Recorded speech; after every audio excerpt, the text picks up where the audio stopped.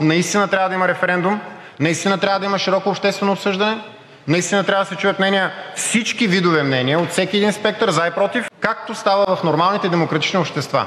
Защото в противен случай ще остане за пореден път впечатлението, че някой взема решение под чужд натиск, за пореден път в ущърб на българските национални интереси. Благодаря.